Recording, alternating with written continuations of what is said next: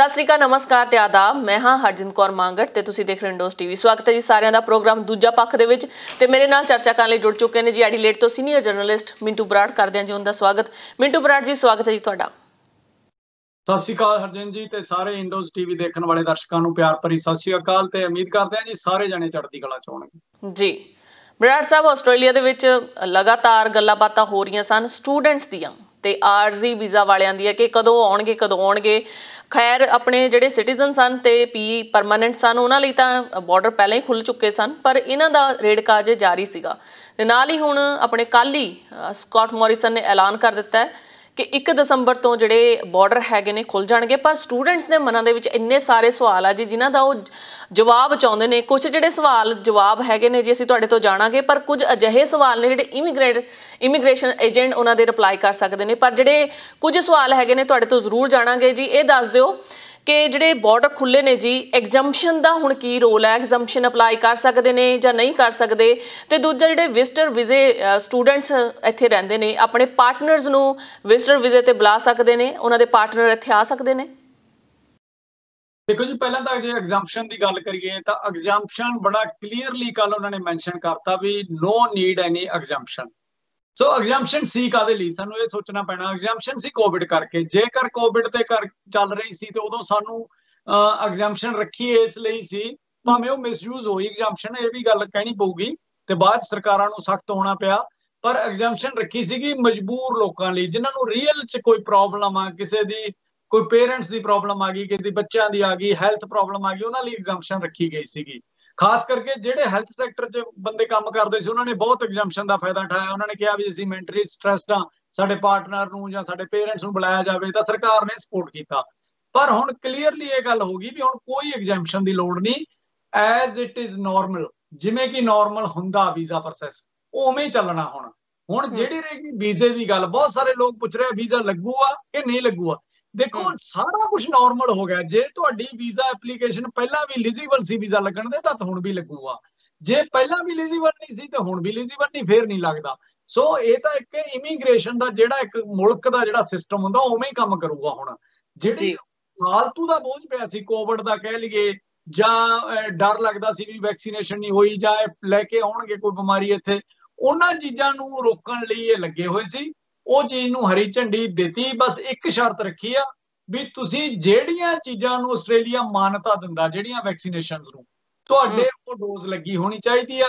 ਜੇ ਉਹ ਡੋਜ਼ ਤੁਹਾਡੇ ਪ੍ਰੋਪਰ ਲੱਗੀ ਆ ਦੋਨੇ ਡੋਜ਼ ਡੋਜ਼ ਤਾਂ ਤੁਹਾਨੂੰ ਕੋਈ ਨਹੀਂ ਰੋਕਦਾ। ਉਹਦੇ ਲਈ ਤੁਹਾਨੂੰ ਸ਼ਾਇਦ ਹੋ ਸਕਦਾ ਜਿਹੜਾ ਜਿਵੇਂ ਆਸਟ੍ਰੇਲੀਆ ਦਾ ਡਿਜੀਟਲ ਸਰਟੀਫਿਕੇਟ ਤੁਸੀਂ ਨਾਲ ਹੀ ਹੈਂਡਲ ਕਰਦੇ ਹੋ। ਹੋ ਸਕਦਾ ਇੰਡੀਆ ਦੇ ਜਾਂ ਹੋਰ ਕੰਟਰੀਆਂ ਦਾ ਵੀ ਇਦਾਂ ਸਿਸਟਮ ਹੋਵੇ ਮੈਨੂੰ ਨਹੀਂ ਪਤਾ। ਤਾਂ ਨਹੀਂ ਹੈ ਤਾਂ ਉਹਨਾਂ ਨੂੰ ਹੈਂਡਲ ਕਰਨਾ ਪੈਣਾ ਉਹਦਾ ਪ੍ਰੂਫ ਲੈਣਾ ਰੱਖਣਾ ਪੈਣਾ ਜੋ ਵੀ ਹੋਵੇ। ਉਹ ਆਨਲਾਈਨ ਆ ਚਾਹੇ ਪੇਪਰ ਵਰਕ ਆ ਉਹ ਦਿਖਾਉਣਾ ਪੈਣਾ। ਜ਼ਿਆਦਾਤਰ ਹੋਰ ਕੁਝ ਨਹੀਂ ਹੈ ਇਸ ਤੋਂ ਬਿਨਾ। ਸੋ ਕਹਿ ਸਕਦੇ ਆ ਅਸੀਂ ਵੀ ਇਹਦੇ ਚ ਹੁਣ ਕੈਟਾਗਰੀਆਂ ਦਾ ਤਾਂ ਸਵਾਲ ਹੀ ਖਤਮ ਹੋ ਗਿਆ। ਵੀ ਪੇਰੈਂਟਸ ਪਾਰਟਨਰ ਵਿਜ਼ਟਰ ਕੋਈ ਵੀ ਕੋਈ ਵੀ ਆ ਸਭ ਲਈ ਉਹ ਨਾਰਮਲ ਹੋ ਗਿਆ। ਕੋਈ ਐਗਜ਼ੈਂਪਸ਼ਨ ਨਹੀਂ ਕਿਸੇ ਦੀ ਪਹਿਲ ਨਹੀਂ। ਸਾਰਿਆਂ ਦੀ ਵੀਜ਼ੇ ਕੈਟਾਗਰੀਜ਼ ਦੇ ਵਿੱਚ ਜਿਵੇਂ ਜਿਵੇਂ ਅਲਾਟਮੈਂਟ ਆ ਜਿਵੇਂ ਇਹਨਾਂ ਨੇ ਰੱਖਿਆ ਹੁੰਦਾ। ਵੀ ਇਸ ਵਾਰ ਅਸੀਂ ਪਾਰਟਨਰਸ ਵੀਜ਼ੇ ਆ ਜਿਹੜੇ ਉਹ 10000 ਇਸ਼ੂ ਕਰਨੇ ਆ ਅਗਲੇ ਸਾਲ ਇੰਨੇ ਕਰਨੇ ਆ। ਉਹਨਾਂ ਦੇ ਵਿੱਚ ਜੇ ਤੁਹਾਡੇ ਆਉਣੇ ਤਾਂ ਤੁਸੀਂ ਆਓਗੇ। ਜੀ ਜੀ। ਸਟੂਡੈਂਟਸ ਦਾ ਇਹ ਵੀ ਸਵਾਲ ਹੈ ਜੀ, ਕੋਈ ਹਦਾਇਤਾਂ ਤਾਂ ਨਹੀਂ ਸਟੂਡੈਂਟਸ ਨੂੰ? ਅਜੇ ਵੀ ਆਸਟ੍ਰੇਲੀਆ ਆਉਣ ਲਈ ਕਈ ਇਹ ਕਹਿੰਦੇ ਨੇ ਕਿ ਆਸਟ੍ਰੇਲੀਆ ਸਿਰਫ ਨਿਊ ਸਾਊਥ ਵੇਲਸ ਦੀ ਗੱਲ ਕੀਤੀ ਜਾ ਰਹੀ ਹੈ ਜਾਂ ਪੂਰੇ ਆਸਟ੍ਰੇਲੀਆ ਦੀ ਗੱਲ ਕੀਤੀ ਜਾ ਰਹੀ ਹੈ? ਕਈਆਂ ਨੇ ਕਿਹਾ ਹੈ ਕਿ ਅਸੀਂ ਪਰਥ ਤੋਂ ਇੰਡੀਆ ਜਾ ਸਕਦੇ ਹਾਂ ਜਾਂ ਇੰਡੀਆ ਤੋਂ ਪਰਥ ਆ ਸਕਦੇ ਹਾਂ ਕਿ ਕੱਲਾ ਸਿਰਫ ਜਿਹੜਾ ਨਿਊ ਸਾਊਥ ਵੇਲਸ ਦੀ ਗੱਲ ਹੋ ਰਹੀ ਆ।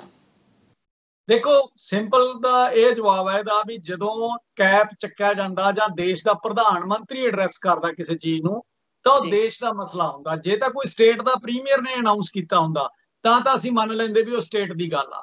ਜਦੋਂ ਹੁਣ ਦੇਸ਼ ਦਾ ਪ੍ਰਧਾਨ ਮੰਤਰੀ ਆ ਕੇ ਸਾਹਮਣੇ ਹੋ ਕੇ ਕਹਿ ਰਿਹਾ ਤਾਂ ਇਹ ਦੇਸ਼ ਦਾ ਹੀ ਮਸਲਾ। ਹੋ ਸਕਦਾ ਕਿਸੇ ਸਟੇਟ ਨੂੰ ਥੋੜੀ ਬਹੁਤ ਕਿੰਤੂ ਪਰੰਤੂ ਹੋਵੇ ਜਿਵੇਂ ਲੇਬਰ ਲਿਬਰਲ ਆਪਸ ਵਿੱਚ ਪਾਰਟੀਆਂ ਦਾ ਕਿੰਤੂ ਪਰੰਤੂ ਹੋਵੇ ਉਹ ਕੋਈ ਨਾ ਕੋਈ ਆਪਦੀ ਐਕਸਟਰਾ ਪਾਵਰ ਵਰਤ ਲੈਣ ਵੀ ਅਸੀਂ ਉਹਨਾਂ ਵਾਲੀ ਨਹੀਂ ਗੱਲ ਮੰਨਣੀ ਉਹ ਅੱਡ ਇੱਕ ਚੈਪਟਰ ਆ ਪਰ ਇਦਾਂ ਨਹੀਂ ਹੁੰਦਾ ਉਹ ਸਾਰਿਆਂ ਲਈ ਇੱਕ ਬਰਾਬਰ ਹੋਊਗਾ ਤੇ ਇਹਦੇ ਚ ਜਿਹੜੇ ਸਟੂਡੈਂਟਸ ਦੀ ਇੱਕ ਮੈਂ ਥੋੜੀ ਜਿਹੀ ਜ਼ਰੂਰ ਕਹੂੰਗਾ ਵੀ ਜਿਹੜੇ ਸਟੂਡੈਂਟ ਬਹੁਤ ਸਾਰੇ ਸਟੂਡੈਂਟ ਇੰਡੀਆ 'ਚ ਜਿਵੇਂ ਸਟਕ ਹੋ ਰਹੇ ਆ ਉਧਰੋਂ ਕਈ ਕਿਸਮ ਦੇ ਵੀਜ਼ੇ ਵਾਲੇ ਉਹਨਾਂ ਲਈ ਤਾਂ ਉਹਨਾਂ ਨੂੰ ਤਾਂ ਆਉਣਾ ਪ੍ਰਾਇੋਰਟੀ ਆ ਉਹ ਤਾਂ ਹੁਣ ਕੋਸ਼ਿਸ਼ ਕਰਨੀ ਸ਼ੁਰੂ ਕਰ ਦੇਣ ਤੇ ਆਉਣ। ਟਿਕਟ ਮਿਲਦੀ ਆ ਟਿਕਟ ਲਓ ਜੇ ਤੁਹਾਡੇ ਕੋਲ ਵਾਈਲਡ ਵੀਜ਼ਾ ਹਜੇ ਵੀਜ਼ੇ ਦੀ ਲਿਮਿਟ ਪਈ ਆ ਤਾਂ ਤੁਸੀਂ ਆ ਸਕਦੇ ਹੋ ਤੁਹਾਨੂੰ ਕੋਈ ਨਹੀਂ ਰੋਕੂਗਾ। ਪਰ ਜੇ ਕੋਈ ਤੁਸੀਂ ਇੱਥੇ ਰਹਿੰਦੇ ਹੋ ਤੇ ਤੁਹਾਡਾ ਕੋਈ ਇਹ ਜਾਂ ਕ੍ਰਿਟੀਕਲ ਸੀਨ ਕ੍ਰੀਏਟ ਹੁੰਦਾ ਜਿਹਦੇ ਚ ਜਿਵੇਂ ਤੁਸੀਂ ਬ੍ਰੀਜ਼ਿੰਗ ਏ ਬੀ ਜਾਂ ਇਹ ਜੇ ਵੀਜ਼ੇ ਤੇ ਆ, ਜਿਹਦੇ ਚ ਤੁਹਾਨੂੰ ਵੀਜ਼ੇ ਲਈ ਬਾਹਰ ਜਾਣਾ ਪਊ ਜਾਂ ਇੱਥੇ ਰਹਿਣਾ ਪਊ, ਉਹ ਆਪਦੇ ਏਜੰਟ ਨਾਲ ਮੇਕ ਸ਼ੋਰ ਕਰਿਓ, ਮਹੀਨੇ, ਦੋ ਮਹੀਨੇ ਪਿੱਛੇ ਕਾਲ ਨਾ ਕਰਿਓ, ਜਾਣ ਦੀ, ਤੁਸੀਂ ਆਪਦਾ ਡਿਸੀਜਨ ਲੈ ਕੇ ਜਾਓਗੇ ਤਾਂ ਜ਼ਿਆਦਾ ਬੈਨੀਫਿਟ ਆ, ਕਿਉਂਕਿ ਮੈਂ ਬਹੁਤ ਸਾਰੇ ਲੋਕਾਂ ਨੂੰ ਜਾਣਦਾ, ਜਿਹੜੇ ਥੋੜੇ ਜਿਹੇ ਇੱਕ ਦੋ ਦਿਨਾਂ ਦੇ, ਚਾਰ ਦਿਨਾਂ ਦੇ ਡਿਸੀਜਨ ਨਾ ਲੈ ਕੇ ਤੇ ਉਹਨਾਂ ਨੇ ਕਿਹਾ ਵੀ ਅਸੀਂ ਆ ਹੀ ਸਕਦੇ ਆ ਨਾਰਮਲ ਆ ਤੇ ਉਹ ਨਹੀਂ ਆ ਸਕੇ ਤੇ ਉਹਨਾਂ ਦੀ ਜਿਹੜੀਆਂ ਉਹਨਾਂ ਕੋਲੇ ਕੋਈ ਵੈਲਿਡ ਵੀਜ਼ਾ ਨਹੀਂ ਬਚਿਆ ਆਸਟ੍ਰੇਲੀਆ ਦਾ ਤਾਂ ਉਹ ਅੱਜ ਉੱਥੇ ਅਟਕ ਗਏ। ਉਹਨਾਂ ਲਈ ਬਹੁਤ ਮੁਸ਼ਕਲ ਹੋ ਗਈ ਉਹਨਾਂ ਦੀ ਮਿਹਨਤ ਖਰਾਬ ਹੋ ਗਈ। ਸੋ ਕੋਸ਼ਿਸ਼ ਕਰੋ ਆਪਣੇ ਏਜੰਟ ਤੋਂ ਜ਼ਰੂਰ ਜਾਣਕਾਰੀ ਲਓ ਜੋ ਤੁਸੀਂ ਇੱਥੋਂ ਜਾਣਾ ਵੀ ਮੈਂ ਮਹੀਨੇ ਲਈ ਜਾਣਾ 2 ਮਹੀਨੇ ਲਈ ਜਾਣਾ ਕਿਉਂਕਿ ਅਸੀਂ ਹੁਣ ਪ੍ਰੈਡਿਕਟ ਨਹੀਂ ਕਰ ਸਕਦੇ। ਕੀ ਪਤਾ ਲੱਗਦਾ ਇੱਥੇ ਕਿਹੜੀ ਵੇਵ ਕਦੋਂ ਆ ਜੇ ਤੇ ਕਦੋਂ ਇਹ ਫੇਰ ਆਪਦੇ ਸ਼ਟਰ ਬੰਦ ਕਰ ਦੇਣ। ਸੋ ਬੈਸਟ ਆਈਡੀਆ ਜੇ ਤੁਸੀਂ ਤੁਹਾਡੇ ਕੋਲੇ ਪੱਕੇ ਪੈਰੀ ਹੋਵੋਗੇ ਤੁਸੀਂ ਮੁੜ ਕੇ ਆਉਣ ਦੇ ਕਾਬਿਲ ਹੋਵੋਗੇ ਤਾਂ ਹੀ ਤੁਸੀਂ ਜਾਓ ਜੀ ਜੀ। ਬਰਾੜ ਸਾਹਿਬ, ਗੱਲ ਕਰਦੇ ਹਾਂ ਜੀ ਭਾਰਤ ਦੀ, ਭਾਰਤ ਦੇ ਕਿਸਾਨਾਂ ਦੀ। ਕੱਲ ਹੀ ਸੰਯੁਕਤ ਕਿਸਾਨ ਮੋਰਚੇ ਵੱਲੋਂ ਚਿੱਠੀ ਲਿਖੀ ਗਈ ਹੈ ਜੀ ਸਰਕਾਰ ਨੂੰ, ਕਿਉਂਕਿ ਬਿੱਲਾਂ ਸੰਬੰਧੀ ਬਹੁਤ ਸਾਰੀ ਕਨਫਿਊਜ਼ਨ ਸੀਗੀ, ਰੇੜਕਾ ਬਣਿਆ ਹੋਇਆ ਸੀ, ਜਿਵੇਂ ਨਰਿੰਦਰ ਮੋਦੀ ਨੇ ਬਿੱਲਾਂ ਬਾਰੇ ਐਲਾਨ ਕੀਤਾ ਕਿ ਰੱਦ ਕਰਦੇ ਆ ਪਰ ਉਸ ਤੋਂ ਬਾਅਦ ਬਹੁਤ ਸਾਰੀਆਂ ਮੰਗਾਂ ਜਿਹੜੀਆਂ ਖਾਸ ਕਰਕੇ ਐਮਐਸਪੀ ਹੋ ਗਈ ਜਾਂ ਬਿਜਲੀ ਬਿੱਲ ਹੋ ਗਏ ਤੇ ਕਿਸਾਨਾਂ ਦੇ ਮਸਲੇ ਨੂੰ ਜਿਹੜੇ ਸ਼ਹੀਦੀਆਂ ਪ੍ਰਾਪਤ ਕਰ ਗਏ ਆ। ਸੋ 6 ਜਿਹੜੇ ਸਵਾਲ ਸਨ ਉਹਨਾਂ ਨੇ ਲਿਖ ਕੇ ਭੇਜੇ ਨੇ। ਹੋਰ ਵੀ ਬਹੁਤ ਸਾਰੇ ਕਿਸਾਨਾਂ ਦੇ ਸਵਾਲ ਨੇ, ਬਹੁਤ ਸਾਰੀਆਂ ਗੱਲਾਂ ਹੋ ਰਹੀਆਂ ਨੇ। ਕਿਸਾਨਾਂ ਨੇ ਅਜੇ ਤੱਕ ਮੋਰਚਾ ਕਿਉਂ ਨਹੀਂ ਚੱਕਿਆ? ਕਿਉਂਕਿ ਪੱਤਰਕਾਰ ਵੀ ਬਹੁਤ ਸਾਰੇ ਉਹਨਾਂ ਨਾਲ ਇੰਟਰਵਿਊਜ਼ ਕਰ ਰਹੇ ਨੇ। ਸੋ ਕੀ ਰਾਏ ਹੈ ਜੀ ਤੁਹਾਡੀ? ਦੇਖੋ ਜੀ 19 ਤਰੀਕ ਨੂੰ ਜਿਹੜਾ ਇੱਕ ਅਹਿਮ ਐਲਾਨ ਦੇਸ਼ ਦਾ ਪ੍ਰਧਾਨ ਮੰਤਰੀ ਅਚਾਨਕ ਆ ਕੇ ਸਾਹਮਣੇ ਕਰਦੇ ਆ, ਜੋ ਕਿ ਉਹਨਾਂ ਦੀ ਇੱਕ ਫਿਤਰਤ ਦੇ ਵਿੱਚ ਸ਼ਾਮਲ ਆ। ਉਹ ਜਿਹੜਾ ਵੀ ਐਲਾਨ ਕਰਦੇ ਆ ਥੋੜਾ ਜਿਹਾ ਅਚਾਨਕ ਆ ਕੇ ਕਰਦੇ ਆ, ਬਿਨਾਂ ਕੁਝ ਕਹੇ, ਬਿਨਾਂ ਦੱਸੇ।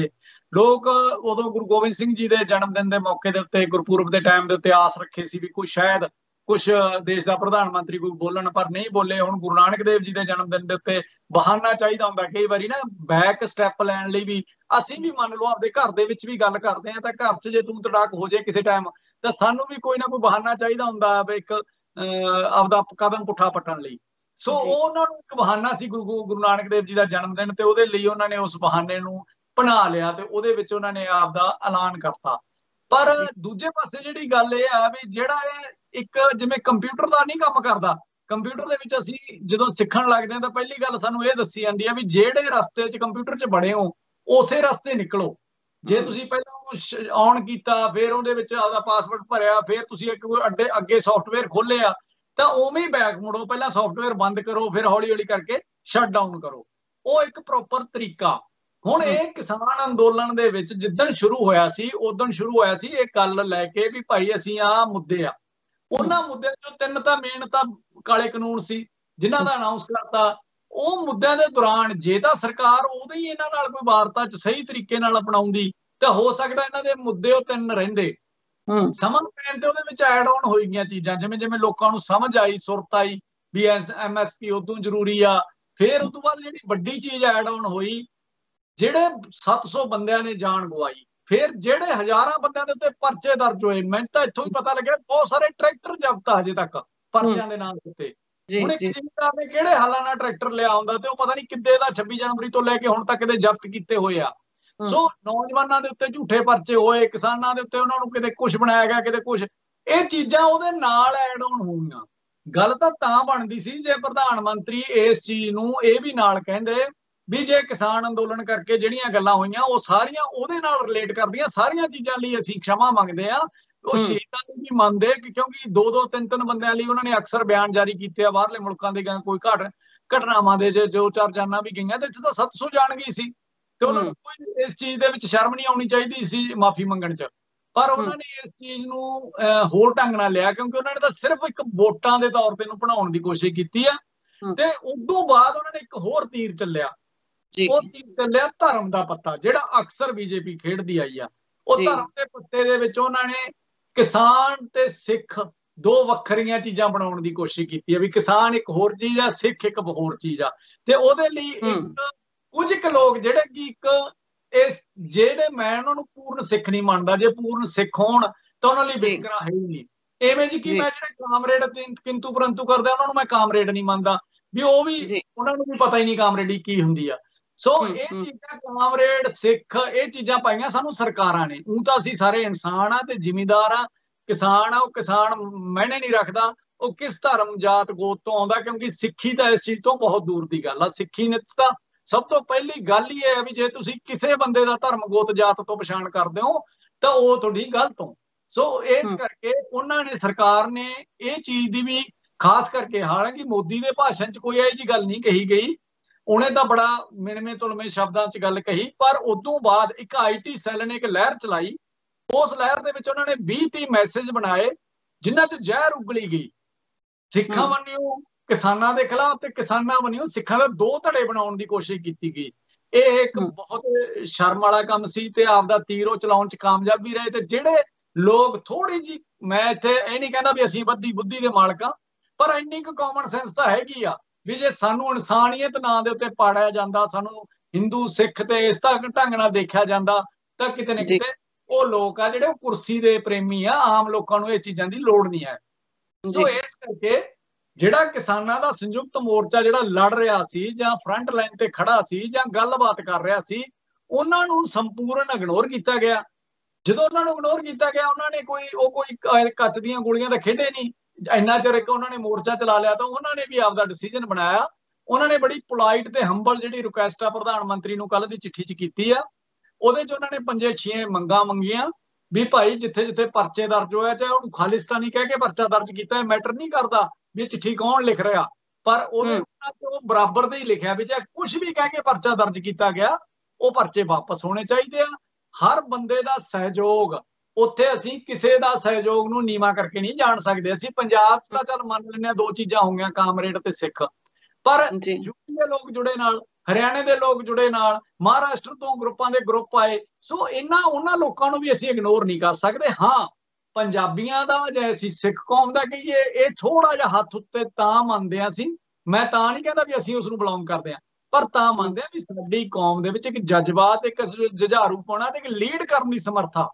ਤੇ ਅਸੀਂ ਕੀਤਾ ਅੱਗੇ ਹੋ ਕੇ ਵਧੇ ਮੂਰੇ ਆਏ ਸਾਰੇ ਨੇ ਰਲ ਕੇ ਤੁਰੇ ਤਾਂ ਕਰਕੇ ਬਾਕੀ ਵੀ ਲੋਕ ਜਿਹੜੇ ਮੁਲਕ ਦੇ ਵਿੱਚ ਹਿੱਲੇ ਤੇ ਇੱਥੋਂ ਤੱਕ ਪਹੁੰਚੇ। ਪਰ ਅੱਜ ਸਰਕਾਰ ਨੂੰ ਚਾਹੀਦਾ ਸੀ ਵੀ ਉਹਨਾਂ ਇਮੇਜ ਕੀ ਜਿਹੜੇ ਰਾਹੇ ਖੋਲਿਆ ਸੀ ਕੰਪਿਊਟਰ ਉਸੇ ਰਾਹੇ ਬੰਦ ਕਰਦੇ ਪਰ ਉਹਨਾਂ ਨੇ ਨਹੀਂ ਕੀਤਾ। ਹੁਣ ਜੇ ਕਾਲ ਦੇ ਵਿੱਚ ਅਸੀਂ ਉੱਠ ਕੇ ਆ ਜਾਈਏ ਜਾਂ ਸਾਡੇ ਬੰਦੇ ਕਹੀ ਜਾਂਦੇ ਆ ਹੁਣ ਇਹਨਾਂ ਨੂੰ ਉੱਠ ਖੜਨਾ ਚਾਹੀਦਾ। ਇਹ ਜਲੇਬੀਆਂ ਦੀ ਆਦਤ ਪੈ ਗਈ ਇਹਨਾਂ ਨੂੰ ਉਹ ਆਦਤ ਪੈ ਗਈ ਇਦਾਂ ਦੇ ਬਲੇਮ ਲਾਏ ਜਾਂਦੇ ਆ।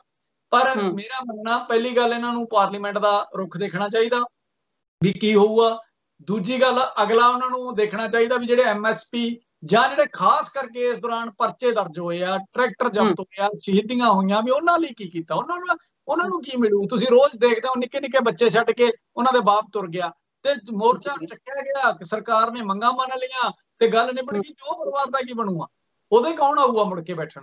ਸੋ ਇਹ ਚੀਜ਼ਾਂ ਮਾਇਨੇ ਰੱਖਦੀਆਂ। ਸੋ ਤਾਂ ਕਰਕੇ ਕੱਲ ਇਹ ਚਿੱਠੀ ਲਿਖੀ ਆ ਤੇ ਉਸ ਚਿੱਠੀ ਦਾ ਦੇਖਦੇ ਹੁਣ ਮੈਨੂੰ ਪਹਿਲੀ ਨਜ਼ਰੇ ਤਾਂ ਪਤਾ ਵੀ ਉਹ ਇਗਨੋਰ ਕਰਨਗੇ ਇਸ ਚਿੱਠੀ ਨੂੰ। ਕੋਈ ਨਹੀਂ ਐਂਟਰਟੇਨ ਕਰੂਗਾ।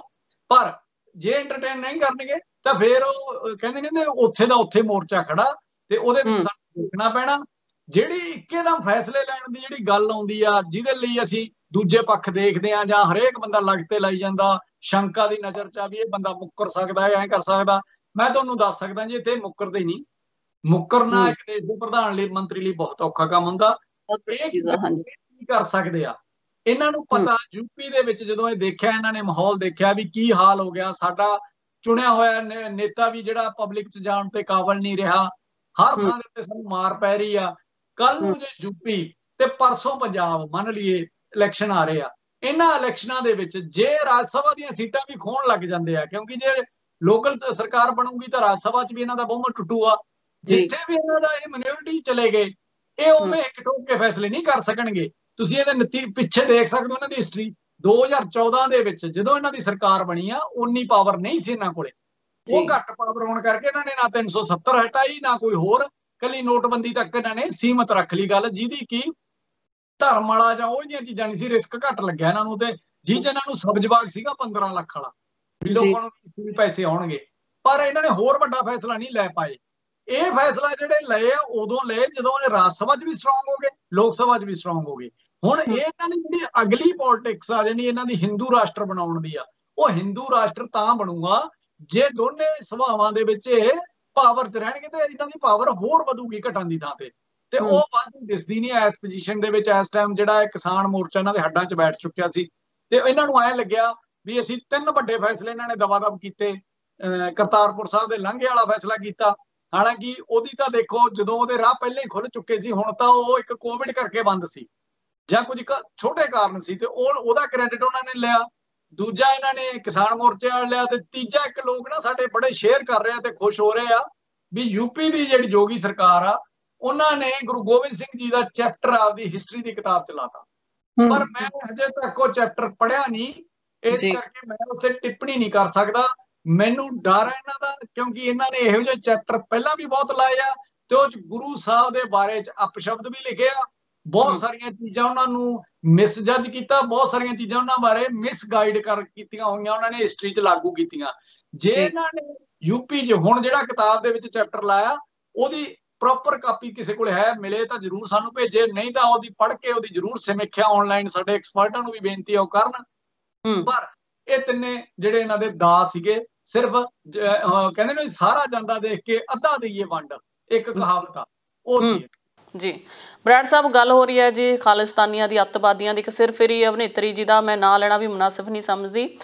ਮੁਕੱਦਮਾ ਕੀਤਾ ਗਿਆ ਜੀ ਦਿੱਲੀ ਗੁਰਦੁਆਰਾ ਮੈਨੇਜਮੈਂਟ ਕਮੇਟੀ ਵੱਲੋਂ। ਮਨਜਿੰਦਰ ਸੇਸਾ ਨੇ ਉਹਨਾਂ ਬਾਰੇ ਕਿਹਾ ਕਿ ਅਜਿਹੇ ਅਪਸ਼ਬਦ ਬੋਲਣੇ ਕਿਸਾਨਾਂ ਦੀ ਭੰਡੀ ਕਰਨੀ ਜਾਂ ਸਿੱਖ ਧਰਮ ਬਾਰੇ ਬੋਲਣਾ ਉਸ ਤੋਂ ਬਾਅਦ ਕਿਸਾਨਾਂ ਨੂੰ ਅੱਤਵਾਦੀ ਐਲਾਨ ਦੇਣਾ ਉਹ ਤੋਂ ਬਾਅਦ ਉਹਨੂੰ ਪਦਮ ਸ਼੍ਰੀ ਦਾ ਜਿਹੜਾ ਖਿਤਾਬ ਦੇ ਦੇਣਾ ਕਿੱਥੋਂ ਤੱਕ ਜਾਇਜ਼ ਹੈ ਤੇ ਉਹਨਾਂ ਨੇ ਕਿਹਾ ਇਸ ਦੇ ਇਸ ਔਰਤ ਦੇ ਉੱਤੇ ਇਹ ਸਿਰਫ ਹੀ ਔਰਤ ਆ ਜਿਹੜੀ ਇਹਦੇ ਉੱਤੇ ਸਖਤ ਤੋਂ ਸਖਤ ਕਾਰਵਾਈ ਹੋਣੀ ਚਾਹੀਦੀ ਆ।